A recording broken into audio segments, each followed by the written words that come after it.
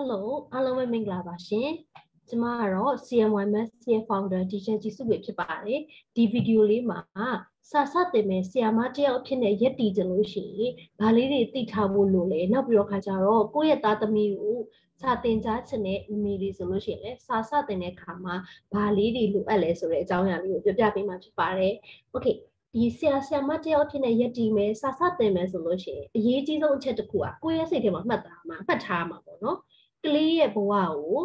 ကိုကသူတို့ရဲ့ဒီဘဝကိုပြိုးထောင်ပေးမဲ့သူတယောက်သူတို့ရဲ့အနာဂတ်အတွက်ကိုကပုံဖော်ဖို့အတွက်အရေးကြီးတဲ့နေရာကနေပါဝင်သွားပြီဆိုတော့ဒီစိတ်တဲ့ခံယူချက်လေးပေါ့နော်ပထမဆုံးရှိဖို့လိုတယ်ဆရာဆရာမတယောက်ကဒီပြောလွယ်လွယ်ပြောလို့ရှိရင်တော့ကလေးဘဝကိုဒီကလေးရဲ့ပညာရေးနဲ့ပတ်သက်ပြီးကိုတာဝန်ယူမယ်ဆိုတဲ့စိတ်လေးပေါ့နော်အဲ့စိတ်လေးကိုပထမဆုံးရှိဖို့လိုတယ်โอเคဟုတ်ပြီဒီစာသင်မှုဆုံးဖြတ်လိုက်ပြီဆိုလို့ရှိရင်နောက်နံပါတ်1အချက်ကစိတ်ရှည်ဖို့လိုတယ် ကလေးနဲ့စာသင်တဲ့ခါကျတော့ရှိအရန်ကိုဒီစိတ်ရှည်ပေးဖို့လိုအပ်လိုအပ်တယ်ပေါ့နော်စိတ်ရှည်ပဲဒီစိတ်ရှည်ဘူးမစိတ်မရှည်ဘူးဆိုလို့ရှိရင်တော့စာသင်တဲ့လုပ်ငန်းကစာသင်ဖို့အတွက်ကမဖြစ်နိုင်ဘူးပေါ့နော်ကလေးတွေနဲ့ဒီစိတ်စိတ်ရှည်မှာကလေးတွေနဲ့လည်းလုံးညီထွေဖြစ်နိုင်မယ်နောက်ပြီးတော့ကလေးတွေနဲ့အဆင်ပြေမယ်ပေါ့ကလေးဆိုတာကတော့တေချာတာသူတို့မသိသေးဘူးမသိသေးတဲ့အတွက်သူတို့မှာအခက်ခဲလေးတွေလည်းရှိမယ်အဲ့ဒီအခက်ခဲလေးတွေရှိလာတဲ့ခါကြလို့ရှိရင်ဒီဆရာဆရာမအနေနဲ့က နားလည်အောင်ဘယ်လိုပြောပြရမလဲဆိုရင်တာဝန်သူ့မှာရှိဆရာဆရာမဖြစ်လာပြီဆိုလို့ရှိရင်ရှိရှိလာပြီပေါ့နော်အဲနောက်ပြီးတော့ခါကြတော့နောက်တစ်ချက်ကကလေးတွေကဒီကိုစာတင်ပေးလိုက်တဲ့နဲ့ပတ်သက်ပြီးတော့ဘယ်လောက်ထိနားလည်သွားလဲဘယ်လောက်ထိဒီတက်မြောက်သွားတယ်ဒါတွေကိုလည်းအမြင်နဲ့ဆရာဆရာမတောင်းနေတယ်ဂရုစိုက်နေဖို့လိုအပ်တယ်အဲ့တော့ကလေးကဘာတွေလိုအပ်လာပြီလဲငါဒီဆရာဆရာမတောင်းနေတယ်ဘာချက်ပြီးတော့တင်ပေးဖို့လိုတယ်လေဒါလေးတွေကိုလည်းအမြဲတမ်းစဉ်းစားနေဖို့လိုအပ်ပါတယ်ဟုတ်ပြီ နောက်စာစတင်မယ်ဆိုရင်နောက်ဒါဒါဒါတွေကတော့ဒီချက်တွေနဲ့ပြည့်သွားပြီ။ Okay စာစတင်တော့မယ်ဆိုရင်အရေးကြီးတဲ့နောက်တစ်ချက်ကတော့ classroom communication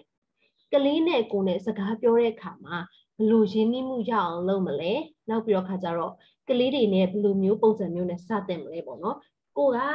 ကလေးတွေနဲ့စတင်တဲ့အခါမှာ discussion ပုံစံမျိုးပေါ့နော်ဆွေးနွေးတဲ့ပုံစံမျိုးပြောမယ်ဆွေးနွေးပုံစံမျိုးပြောမယ်ဆိုလို့ရှိရင်ဒါကစစပုံမှန်တင်ရတာထက်ပိုပြီးတော့ challenging တွေများတယ် အဲဒါပေမဲ့အဲ့လိုအပြန်အလှန် discuss လုပ်ပြီးတော့စကားပြောတဲ့ပုံစံမျိုးနဲ့သင်ကြားမယ်ဆိုလို့ရှိရင်ကလေးတွေအတွက်အများကြီးအကျိုးရှိလာနိုင်တယ်။နောက်ပြီးတော့ဒီဆရာဆရာမတွေရင်းနှီးသွားပြီးအပြန်အလှန်ပုံမှန်လင်းလင်းဆွေးနွေးနိုင်ပြီဆိုလို့ရှိရင်သူတို့အတွက်ဒါဒီပညာသင်ကြားတဲ့အခါမှာပိုပြောလာနိုင်တယ်။နောက်ပြီးတော့ခါကြတော့ပို့ပြီးတော့စိတ်ဝင်စားမှုတွေလည်းရလာနိုင်တယ်ပေါ့နော်ဒီလိုမျိုးရှိတယ်။ Okay ဒါကဒီအသက်အရွယ်ကြီးတဲ့ကလေးတွေကိုသင်တဲ့ခါကြလို့ရှိရင် discuss လုပ်တဲ့ပုံစံမျိုးကတစ်မျိုးလေး နောက်ပြီးတော့ငယ်တဲ့ကလေးတွေကိုကြတော့သူတို့အနေနဲ့ဆွေးနွေးတဲ့ခါမှာပြောပြောရတဲ့ပုံစံမျိုးလေးတွေကတော့မတူဘူးပေါ့နော်တယောက်နဲ့တယောက်ဒီကလေးအတန်းပေါ်မူတည်ပြီးတော့စာသင်ရတဲ့ပုံစံမျိုးလေးကတော့ခွဲသွားတယ်ပေါ့နော်ဒီဒီလိုမျိုးအပြန်လန်စကားပြောဆွေးနွေးနိုင်တဲ့ပုံစံမျိုးလေးဖန်တီးနိုင်မယ်ဆိုလို့ရှိရင်ကလေးအငယ်တွေအတွက်ဆိုတော့ပို့ပြီးတော့အကျိုးရှိတယ်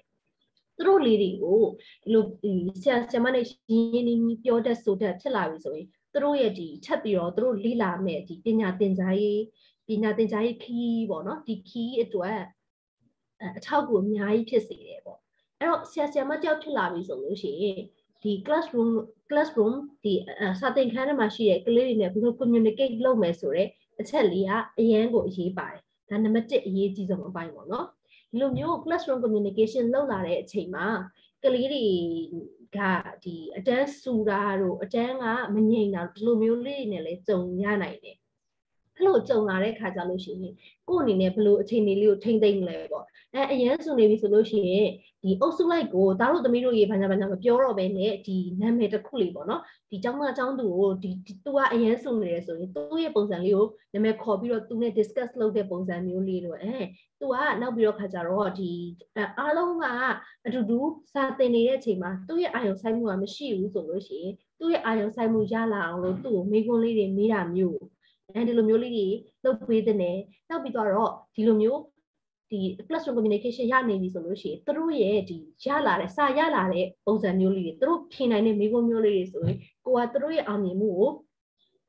အားကျမှန်တယ်နဲ့ကိုယ့်ရဲ့ကိုချီးကျူးပေးဖို့လိုတယ်ပေါ့နော် positive comments လေးတွေပေးတဲ့နဲ့နောက်ပြီးတော့ခါကြသူတို့ရဲ့ဒီမသိတာလေးတွေကိုလည်းတေချာလေးရှင်းပြပေးတဲ့နဲ့အခက်ခဲလေးတွေဖြစ်လာပြီဆိုတော့အဲဒါမျိုးလေးတွေကဖြစ်လေဖြစ်တာရှိရဲ့သဘာဝလေးတွေပါဒါတွေက ဟိုဖြည်းဖြည်းချင်းကြော်ဖြတ်သွားပါပါဒီလိုပုံစံမျိုးလေးတွေလည်းဒါကလေးတွေကိုအားပေးနေစတင်ကြရမယ်ပေါ့နော်စတင်ကြဒါကတော့ဒါတင် जा နည်းအခြေခံလေးတွေကိုပြောပြသွားတာပေါ့နော်နောက်တစ်ခုကတော့စာတင်ကြားမဲ့ဆရာဆရာမတယောက်အနေနဲ့ဘာလေးလိုအပ်လဲဆိုတော့ဤပညာပိုင်းအောင်ကောင်းကောင်းကျင်းကျင်းသုံးတတ်ဖို့လိုအပ်တယ်အခုဒီခေတ်ကြီးရမှာစတင်မယ်ဆိုလို့ရှိရင်ဒီ textbook တက်အုပ်ထဲကိုကိုင်နေရုံနဲ့မပြီးသွားဘူး အဲ့တော့ထပ်ပြီးတော့ဒီ textbook နဲ့ပတ်သက်တဲ့အကြောင်းအရာတွေ resource တွေကိုဘယ်လိုထပ်ပြီးတော့ရှာမလဲဆိုတာကိုဒီ internet နည်းပညာတွေသုံးပြီးတော့အများကြီးထပ်ပြီးတော့ရှာတတ်ဖို့ထပ်ပြီးတော့လေ့လာတတ်ဖို့လိုအပ်တယ်နောက်ပြီးတော့ကလေးတွေနဲ့ပတ်သက်ပြီးတော့ creative တွေဘယ်လိုလုပ်မလဲဘယ်လိုတီထွင်ဖန်တီးမှုလေးတွေလုပ်ပြီးလို့ရှိရင်ကလေးတွေကပို့ပြီးတော့နားလည်လွယ်မလဲနောက်တင်ထောက်ကူပစ္စည်းလေးတွေသုံးမှပေါ့နော်တင်ထောက်ကူပစ္စည်းလေးတွေသုံးပြီးတော့ပြောပြခြင်းကပြောပြလိုက်လို့ရှိရင်ကလေးတွေပို့ပြီးတော့မြင်သာသွားမယ်ပို့ပြီးတော့ နားလည်လာမယ်ဒီလိုမျိုးလေးတွေရှိတယ်သင်ခန်းစာပေါ်လိုက်ပြီးတော့တင်ထောက်ကူပစ္စည်းလေးတွေလည်းပုံမှန်သုံးသင့်တယ်လိုအပ်လို့ရှိရင်ဗီဒီယိုလေးတွေနဲ့အကူအညီလုပ်ပြီးတော့မှရှင်းပြပေးတာမျိုးလက်တွေ့လုံးလို့ရှိရင်လည်းလက်တွေ့လုံးလို့ရတဲ့ဟာမျိုးလေးတွေနဲ့ဒီရှင်းပြပြီးတော့သင်ကြားပေးတာမျိုးလေးတွေလုပ်လုပ်သေးတဲ့လေဥပမာကျမတို့ဒီ ပေါ့နော်တင်ချာဆိုလို့ရှိရင်ဒါကျမကတင်ချာဆရာမတယောက်ဖြစ်တဲ့အတွက်တင်ချာအကြောင်းလေးကိုတော့ပို့ပြီးတော့ပြောပြပါပေါ့နော်โอเคတင်ချာတင်တဲ့အချိန်ကြောင့်လို့ရှိရင်ကျမတို့ဒီတင်ချာကိုအပြင်ဘဟုတုတနဲ့ရောပြီးတော့မှချိတ်ဆက်ပြီးတော့တင်ချာတဲ့ပုံစံမျိုးလေးတွေသင်ပေးတင်တယ်ဥပမာကျမတို့ဒီ number bond ပေါ့နော်ကနန်းလေးတွေအလွယ်ကူဆိုကလကနန်းခွဲတဲ့ဟာလေးပေါ့ကနန်းခွဲတဲ့သင်ခန်းစာလေးဆိုလို့ရှိရင်ဒီ4လေးကို1နဲ့3လေးနဲ့ခွဲမယ် အဲဥပမာပေါ့နော်ဒီ number 4လေးရှိတယ်ဒီဘက်က1လေးနဲ့ဒီဘက်က3လေးနဲ့ဒီလိုခွဲလိုက်ပြီဒါကလေးကကျ1နဲ့3နဲ့ခွဲရမှာမသိဘူးဆိုတဲ့အခြေအနေမျိုးဖြစ်နေလို့ရှိရင်ဘာလုပ်လို့ရလဲအပြင်မှာရှိနေတဲ့ပစ္စည်းလေးတွေကို4ဆိုတာ၄ခုလေးပေါ့နော်ဥပမာထားပါတော့ဒီ log လေး၄ခုဖြစ်ဖြစ်အတုံးလေး၄ခုဖြစ်ဖြစ်ဒီလိုမျိုးလေးပေါ့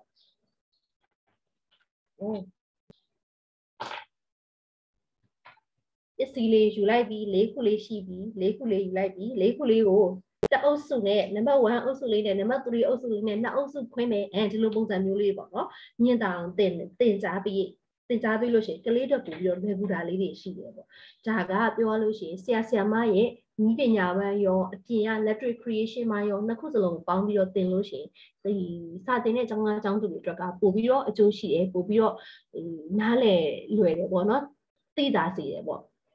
နောက်အရေးကြီးဆုံးအချက်တစ်ခုကပြန်ပြီးပြောရမယ်ဆိုရင်စိတ်ရှိဖို့လိုတယ်ကလေးတွေကိုကလေးကဒီနီလန်းနဲ့ပြောနေတာကိုနားမလည်ဘူးဆိုလို့ရှိရင်နောက်တစ်ခါဒီနီလန်းလေးနဲ့ထပ်ပြီးတော့ရှင်းပြကြည့်မယ်โอเคဒီနီလန်းနဲ့မှလုံးဝနားမလည်တော့ဆိုရင်နောက်တစ်ခုလေးနောက်နောက်ပုံစံမျိုးနဲ့ဘယ်လိုထပ်ပြီးတော့ရှင်းပြရင်နားလည်မလဲဆိုတာဆရာမအနေနဲ့ငញ្ញဆုံးဖြတ်ချက်ချနိုင်လို့လည်းလိုအပ်တယ်အမြင်လေးပြောင်းနိုင်လို့ပေါ့နော်အဲ့လိုမျိုးလေးလိုအပ်တယ် ဒါကတော့ဒီဆရာဆရာမတယောက်မှာရှိရှိရမယ် creation ဟောပေါ့နော်အရေးချင်းလေးပေါ့နော်ဒီလိုမျိုးအခြေအနေကိုကြည့်ပြီးတော့ဘယ်လိုမျိုးပြောတတ်ရမလဲဆိုတာလည်းသိဖို့လိုအပ်တယ်နောက်ကျောင်းသားကျောင်းသူတွေအနေနဲ့ဒီစဒီတင်နေတဲ့အချိန်မှာဘလို့အာယုံစိုက်နေလားအဲအာယုံဆိုင်မှုရော့နေနေပြီလားဆိုတာစီဆီယမအနေနဲ့အရေးရကဲခက်ဖို့လိုအပ်တယ်အဲ့တော့တကယ်လို့အာယုံဆိုင်ဖို့အာယုံဆိုင်နိုင်တော့ဦးသူတို့ပြင်းနေပြီဆိုရင်ဘာကြောင့်လဲဒီအချိန်တွေကိုဘယ်လိုမျိုးဒီ ပြောင်းလဲမလဲပေါ့နော်ဒါလေးတွေကလည်းဆရာမတယောက်အနေနဲ့လိုအပ်တဲ့အချက်လေးတွေပါ Okay နောက်ပြီးတော့နောက်တစ်ချက်အနေနဲ့အားလုံးသိထားကြဖြစ်မှာပါ child psychology ပေါ့နော်ကလေးဒီစာသင်မယ်ဆိုလို့ရှိရင်ကလေးတွေရဲ့အကြောင်းအရာကိုကိုကသိနာသိထားနားလည်ထားဖို့လိုအပ်တယ်ကလေးရဲ့သဘောတဘာဝဟဲ့ထားပါတော့အသက်အရွယ်လိုက်ဒီအသက်အရွယ်မှာဆိုလို့ရှိရင်စိတ်ခံစားချက်လေးတွေကဘယ်လိုရှိတတ်လဲအသက်၄နှစ်အရွယ်ကလေး၅နှစ်အရွယ်ကလေးကိုသင်မယ်ဆိုရင် သူတို့ရဲ့ဒီစိတ်ခံစားချက်ကဘယ်လိုရှိရဲသူတို့ရဲ့တုံ့ပြန်မှုကဘယ်လိုရှိတယ်ဒါလေးတွေကိုသိထားဖို့လိုတယ်အဲအဲ့လိုမဟုတ်ဘူးဆယ်ကျော်သက်အရွယ်ဆယ်ကျော်သက်အရွယ်မှာဆိုရင်လေသူတို့လေးတွေကဘယ်လိုလဲစပြီးတော့ဒီဒီကြောက်ကြောက်ရွံ့တာတို့ရှက်တာတို့စကားပြောစကားမပြောရင်လူမျိုးလေးတွေလည်းအများကြီးကြုံရတယ်ဒါတော်တော်တို့တွေမှာဘယ်လိုမျိုးဖြစ်ဖြစ်တဲ့ဖြစ်လိဖြစ်တာရှိလဲနောက်ပြီးတော့ ကလေးတယောက်ချင်းစီရဲ့ပုံစံပေါ့နော်ဒီကလေးကတော့ဘယ်လိုပုံစံမျိုးလေးလဲသူတို့ကလေးတွေရဲ့ type လေးတွေကိုလည်းဆရာဆရာမအနေနဲ့ခွဲပြီးတော့သိထားဖို့လိုတယ်ဒီကလေးကအရန် active ဖြစ်ပြီးတော့အရန်သွားတဲ့ကလေးမျိုးလားဟဲ့ဒီကလေးမျိုးဆိုရင်အတန်းထဲမှာဘယ်လိုမျိုးလေးသူ့ကိုခေါ်ပြီးတော့တခြားကလေးတွေပါတွက်လာအောင်ဘယ်လိုလုပ်မလဲအဲဒါလိုမျိုးပေါ့နော်နောက်တချို့ချို့ချို့ကလေးရှိရအရန်ကိုတိတိကျကျပြောတတ်တဲ့ကလေးမျိုးတိတိကျကျဟိုလိုက်နာတတ်တဲ့ကလေးမျိုးရှိရဒီကလေးမျိုးလေးတွေဆိုလည်းဘယ်လိုကောင်းတယ်ပေါ့နော်သူတို့ရဲ့ဒီ ကောင်းမွန်တဲ့အရေးအချင်းလေးတွေကိုကောင်းတဲ့အရေးချင်းလေးတွေရှိရဲဆိုရင်တခြားသူကိုလည်းဘယ်လိုရလာအောင်လုပ်ပေးမလဲနောက်အဲတကယ်လို့သူတို့မှာအားနည်းချက်လေးတွေရှိနေရဲဆိုလည်းသူတို့အားနည်းချက်လေးတွေကိုကိုကဘယ်လိုတွဲခေါ်ပေးမလဲအဲဒီလိုမျိုးလေးတွေဆရာဆရာမတယောက်အနေနဲ့ဖြစ်စာသင်တဲ့သူတွေကဒါလေးတွေကိုအမြဲတမ်းဂရုစိုက်နေလို့လိုအပ်တယ် okay ဒါတော့ဒီစာသင်တဲ့ချိန်မှာတော့ကိုယ်တိုင်တင်ကြားတဲ့အခါမှာတော့ပို့ပြီးတော့ဖြည့်ရှင်းရတာတွေလက်တွေ့ဒီ အချိန်မှာကြုံရတာလေးတွေတော့ရှိမှာပေါ့နော်ဒီဟာနဲ့လိုက်ပြီးတော့မှဆရာဆရာမအနေနဲ့အမြဲတမ်းဒီတင်ကြားရေးနဲ့ပတ်သက်ပြီးတော့လေ့လာနေဖို့နောက်ပြီးတော့ခါကြတော့ psychology ဘိုင်းနဲ့ပတ်သက်ပြီးတော့လည်းလေ့လာနေဖို့လိုအပ်တယ်နောက်ကိုတင်ကြားမဲ့ပညာရက်ပေါ့နော်ကိုတင်ကြားမဲ့ subject ကိုတင်ကြားမဲ့ဘာသာရက်ကိုလည်းကျွမ်းကျွမ်းကျင်ကျင်သိဖို့လိုအပ်တယ်အဲ့ဒါတွေပတ်သက်ပြီးတော့လည်းအမြဲတမ်း update လုပ်နေဖို့လိုအပ်တယ်ကိုယ့်ရဲ့အရေးချင်းကိုလည်းအမြဲတမ်း upgrade လုပ်နေဖို့လိုအပ်တယ်